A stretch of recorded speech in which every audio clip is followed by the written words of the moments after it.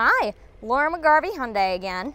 Today I'm going to show you some customization features for the locking of this 2023 Elantra Limited um, H20176.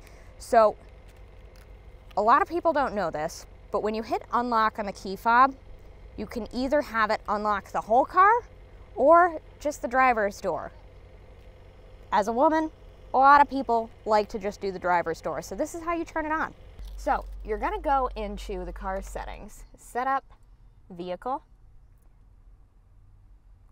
and it's under door settings.